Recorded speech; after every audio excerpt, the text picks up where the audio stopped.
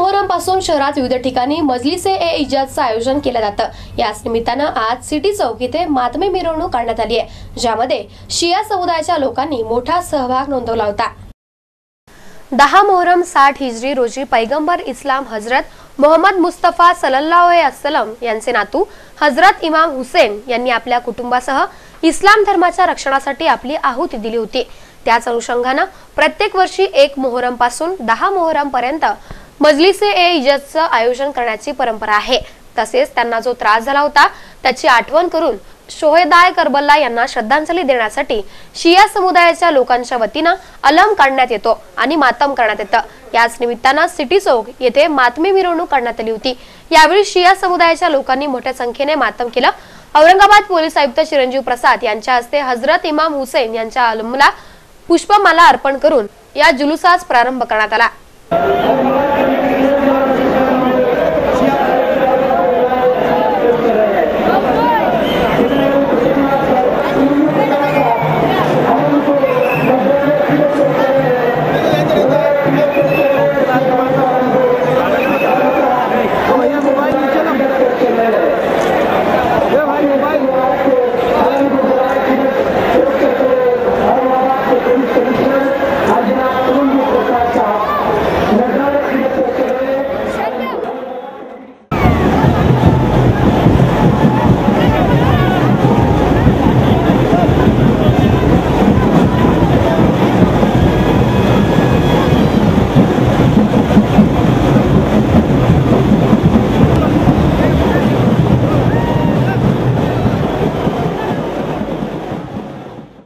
मुहर्रम का भी पर्व पड़ रहा है।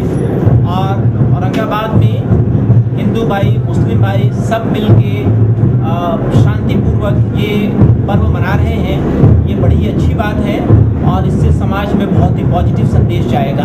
ये बहुत ही खास बात हमने देखी खासकर मुहर्रम पर्व के दरमियान कि शिया भाई और सुन्नी भाई और साथ में इनके हिंदू भाई तरीके से शांतिपूर्ण तरीके से बहुत ही अंडरस्टैंडिंग के साथ ये हुसैन साहब की कुर्बानी को शहादत को याद कर रहे हैं। ये बहुत ही काबिल तारीफ़ चीज़ है। मुहर्रम का- जो महीना मनाया जाता है इसमें शिया सुन्नी एक इतफाक़ होता है।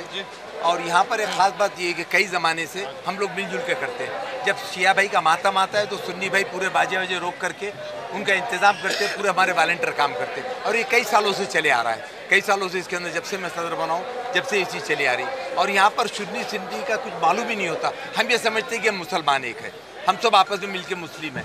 और आज तो यहाँ पर गणेश मान संघ के भी लोग आए हुए हैं, शिया भी है, सुन्नी भी है, तीनों का एक मिलाप है। तो ऐसी चीज़ें पूरे हिंदुस्तान में हो, दुनिया में हम ये चाहते हैं। दस मुहर्रम की तारीख में हज़रत इमाम हुसैन सलाम की शहादत का गम मनाया जाता है।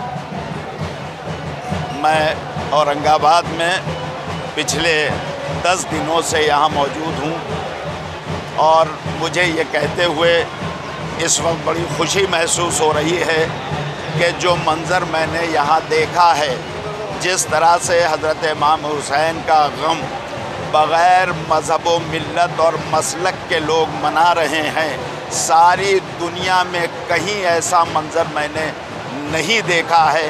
कि दस मुहर्रम को इस तरह हुसैन का गम मनाया जाए कि अल्लाह की नज़र में उसकी मखलूक एक है और हमें एक दूसरे के जज्बात का पासो लिहाज रखना चाहिए और हमेशा जुल्म के ख़िलाफ़ लड़ने के लिए कमर बस्ता होना चाहिए। औरंगाबाद के अंदर जो सिया सुन्नी का मातम होने जा रहा है, इसके अंदर जो दुख की बात है उसके अंदर हम गणेश उत्सव महासंघ की तरफ़ से पूरी हिंदू हम शामिल है।